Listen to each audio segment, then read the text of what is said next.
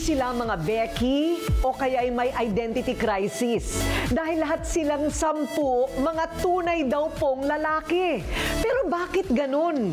Pagdating ng gabi sa kainang ito sa Cavite, silang magtotropa abay nagta-transform. Ang tigasing mga hot daddies nagiging mga marshmallow dahil kapag sila ay kumembot at sumayaw ay nako daig pa ang mga sex bomb. Sila ang puntirya ngayon at pinag-uusapan online dahil performance level ang mga Giling Kings. Sinisigurado ko sa inyo na mga lalaki po kami lahat. Lahat po kami ay may asawa at may jowa. Na mga babae.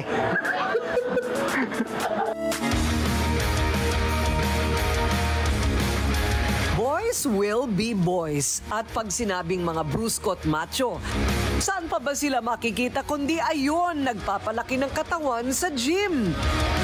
Ganyan magbonding ang magtotropang kabitenyo na sina Ricky, Nino, Noel, Jojo, Leo, Val, Brian, Chino, Roa at Mark. Silang sampu araw-araw nagpapakondisyon dahil mayroon silang big transformation na pinaghahandaan.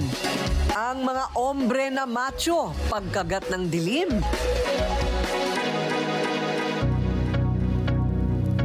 Abay lahat sila nagiging pa-sexy girls. OMG, anong nangyari? Bakit bumaligtad yata ang mundo? Daily routine na po ng mga waiters namin yan. Magpupunta po yan sa gym sa morning, tapos pupunta po rito sa resto, magta-transform na po sila ng ganyan ng dancing waiters, naka-makeup, naka-base po ng pambabae. Siyempre po gagawin nila yan para sa ekonomiya po. At siyempre para sa kanya-kanya mga pamilya po yan. Ganyan. Sige sa kembot, hataw kung hataw, giling pa, to the max. Ganyan ang mga eksena dito sa Kainang Masarap, everyone's try. Nung isang buwan lang, sinimula ng magbabarkada ang kakaibang gimmick na ito sa kanilang negosyo. Ang hardware ni Mark, ginawang kainan na tambayan. Happy place na nila kung ituring ito ngayon. Itinayo para puntahan ng mga gustong tumawa at magtanggal ng stress. Yun nga lang, walang atrasan ng mga maton dahil lahat silang magkakaibigan at gym buddies dapat magsuot ng pambabae. Sasayaw at gigiling ng wagas. Just for fun nga lang daw ito, kaya bawal ang pikon.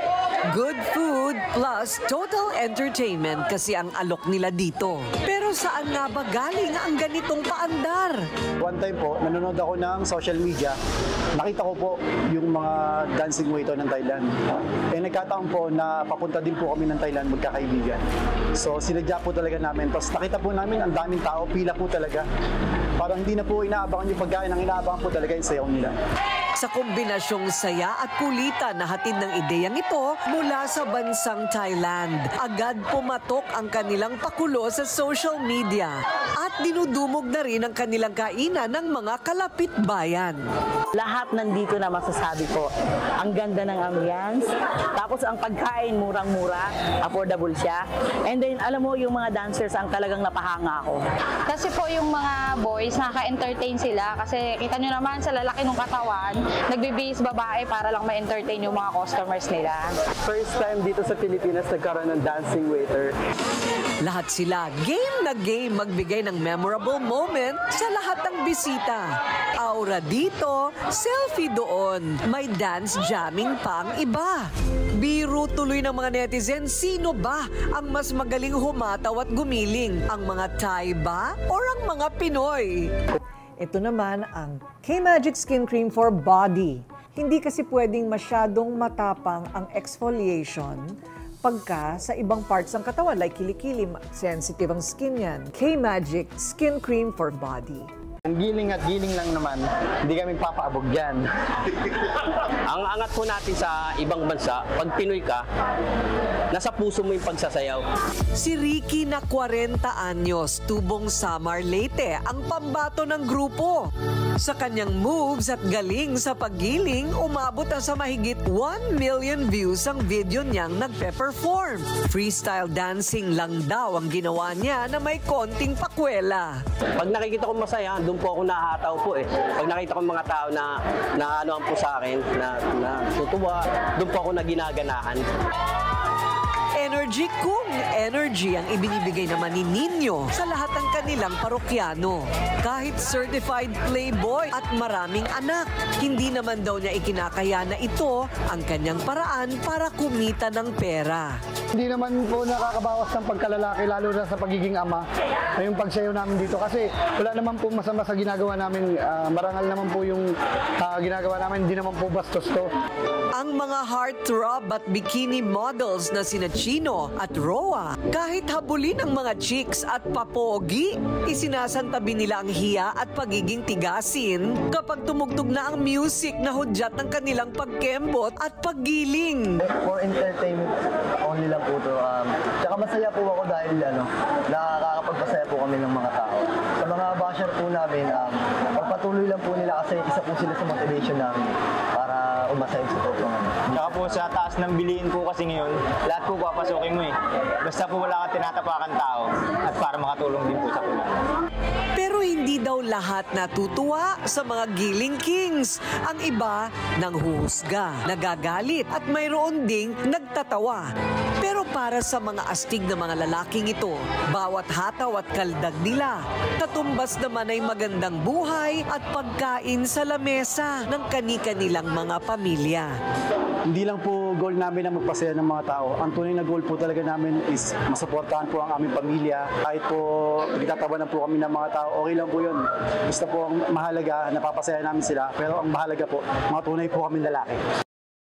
Paglilinaw din ng mga may-ari ng kainang ito, hindi nila kinukutya o ginagawang katatawanan ng gay community ha. Sa katunayan, mataas daw ang kanilang respeto at paghanga sa kanilang mga Becky Beshies. Suportado naman sila ng mga tunay na Diyosa. As an LGBT community, ah, very supportive po kami sa mga ganyan mga activities at sa mga ganyan din ang mga ginagawa po nila dahil nakaka, nakakabigay po sila ng kasiyahan para po sa lahat. the way na nagdidress sila ng ganyan, ano, nakakaaliw talaga ng sobra. Ayon naman sa isang psychologist, magandang promosyon at ideya ito sa negosyo.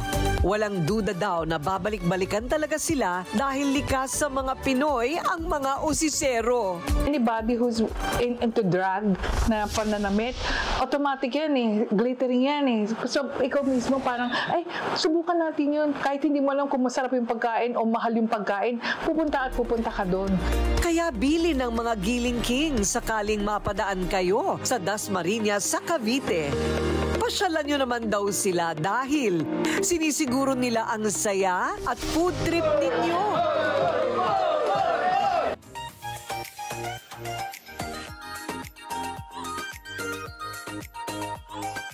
Ito pinag-aralan talaga namin. Look at the back. Merong before and after. A real clinical trial from the United States. Because the active ingredient is tried and tested. A love to lash. Pampakapal ng pilikmata at kilay. Ang maganda dito sa Love to Lash ay yung applicator niya na pinasadya pa namin. Meron siyang foam kasi ilalagay mo yan doon sa parang pinaka-roots ng iyong ah, pilikmata. Isang guhit lang sa baba at taas, pwede na, wag nang paulit-ulit, hindi kailangan. Use it and in four weeks, makikita nyo na ang difference. Pahaba na ng pahaba ang inyong pilikmata. And mababawasan ang lagas. Lalo na kung kayo ay nag-curl lash and nagmamaskara every day. The only one in the market with a clinical trial, tried and tested, a love to lash.